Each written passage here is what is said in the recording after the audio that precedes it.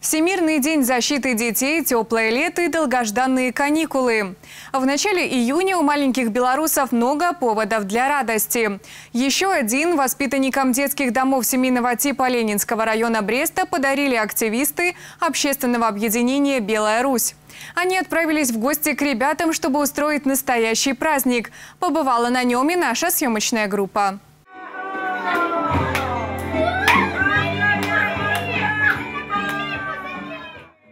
Чтобы комната наполнилась детским смехом, а в глазах светились лучики счастья, достаточно лишь разноцветных мыльных пузырей.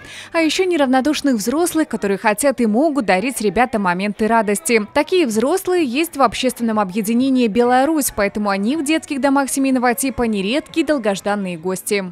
Каждый ребенок, ну, он достоин все-таки видеть мир полный волшебства, э, быть быть любимым и защищенным, чувствовать себя любимым и защищенным. Особенно в нашем любимом городе. Мы, взрослые, своим примером показываем, как надо относиться к детям, а они должны понимать, что если взрослые так относятся, то и они в будущем, это же будущее нашей страны, они так же самое будут и дальше поступать.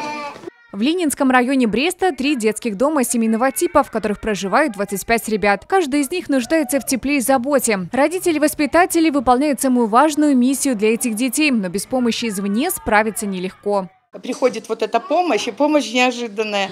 Э, это очень приятно. И я, пользуясь случаем, хочу поблагодарить наших шефов, которые нам оказали помощь в подготовке к ремонту, скажем так.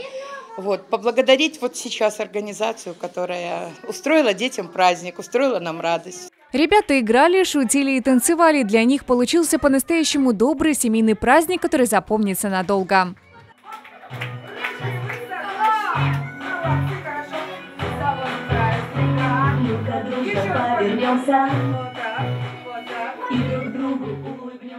Мне понравились большие пузыри и маленькие. Мне было очень весело. Спасибо за такой праздник. Мне понравилось лопать пузыри.